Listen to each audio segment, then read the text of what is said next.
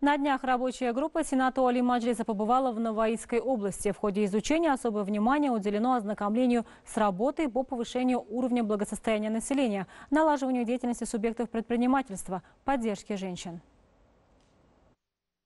Чтобы изучить реальное положение дел, касающихся напрямую повышения уровня жизни населения, обеспечения занятости, а также развития необходимой инфраструктуры, представители рабочей группы встретились с членами женского консультативного совета и активистами схода граждан Махали Дурмон Карманинского района. В ходе этого диалога отмечалось, что реконструировано и сдано в эксплуатацию здание схода граждан Махали, в которой проживает более трех тысяч граждан, в том числе 1521 женщина. Благоустроили и заасфальтировали территорию этой местности, посадили декоративные деревья. Махалю дополнили дополнили новой детской площадкой, мини-стадионом, столовой, женской консультацией, а также санаторием для представителей почтенного возраста. В фокусе внимания вопросы трудоустройства и всесторонней поддержки более 30 женщин, включенных в списки женской тетради.